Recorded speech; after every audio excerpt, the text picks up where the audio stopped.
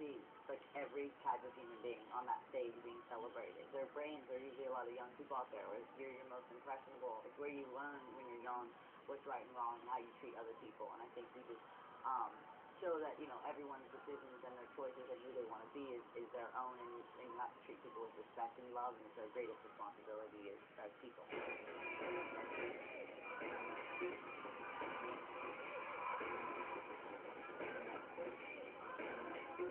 I'm excited to watch people's reactions because I hope they can see past the fact that I'm thinking about that I like marijuana and they can also hear me begging for peace, you know, because I think people can get distracted, you know, even with the sentence it says peace motherfuckers. They get so stuck on the fact that I said the word they don't actually see a woman that's like begging for peace in the world. So it just it kind of shows what people's hearts are. You know, it's not about that. It's not about things.